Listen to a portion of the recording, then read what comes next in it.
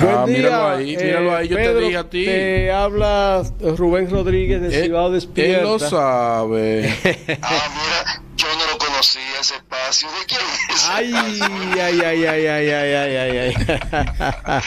Pedro. Buen, buen día para ti y para todos. Bien, está en el aire. Eh, mira, eh, como, como tú eres experto en aviación civil, Quisiera que nos informara, nos diera en, el área técnica, más o menos técnica, qué pudo haber pasado, qué si los pilotos están tienen exceso de trabajo, si la, la cuestión mecánica. Que hable abiertamente. Que habla, háblate abiertamente, sí, a ver qué tú opinas. Sin rodeo. sin rodeo.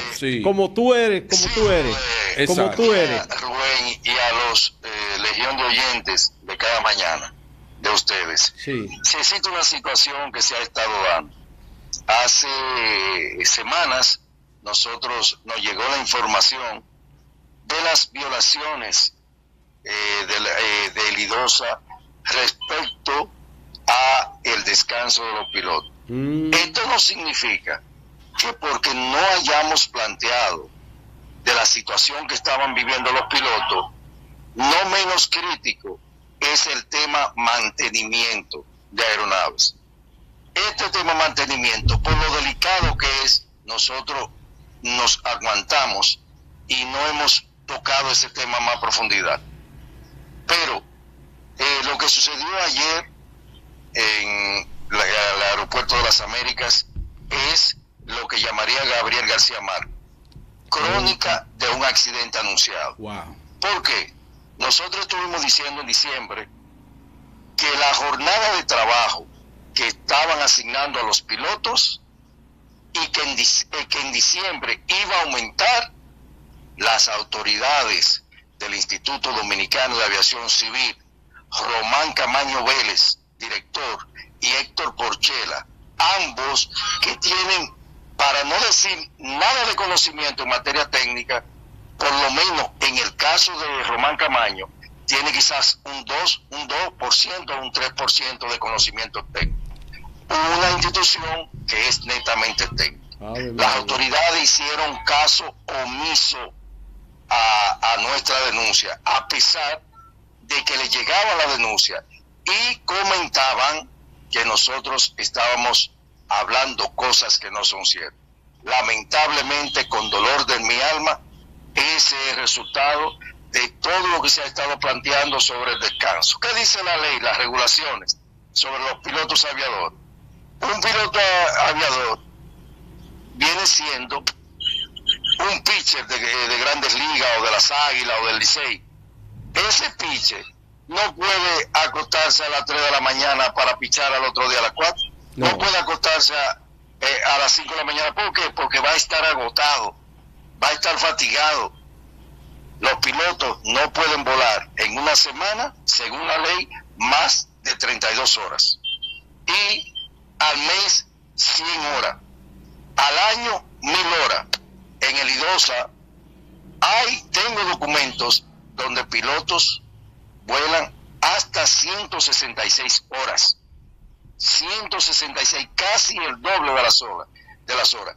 Con lo que sucedió ayer, cuando hay una emergencia en un avión, si el piloto está agotado, está fatigado, no hay la misma reacción.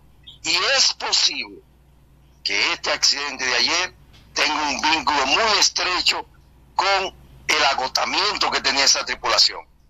Porque están volando 13, 14, 15 horas sin descanso. Tenemos la información que el venezolano, que era el capitán, de esa aeronave, ese venezolano había comentado que tenía varios días que apenas dormía tres horas. Ay, ay, Usted, Ustedes han visto a, eh, los comentarios eh, que han salido sobre la señora del venezolano, lo que él le había comentado. Sí, sí. Entonces, tenemos, tenemos dirigiendo un departamento, ahí me voy un poquito a la parte política lo mío es técnico, pero tengo que decir la parte política.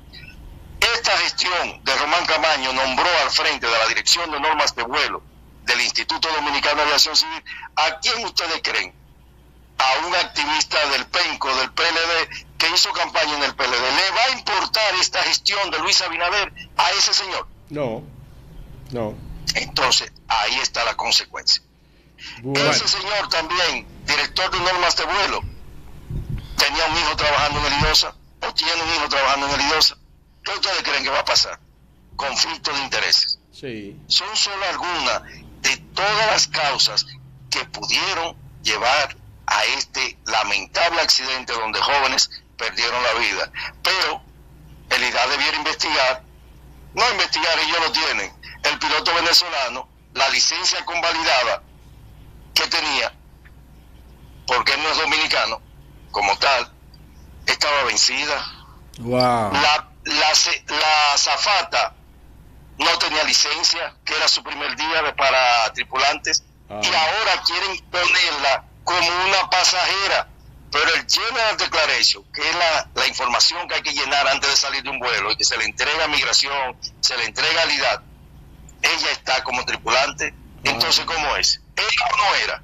Así es. Bueno, ahí hay muchas cosas, mucha tela donde cortar. Bueno, y grave, grave y delicado lo que ha manifestado Pedro Domínguez, sí, sí, que es un experto, en el área técnica. fue aviador y sí, piloto. Sí. Bueno, gracias, gracias Pedro.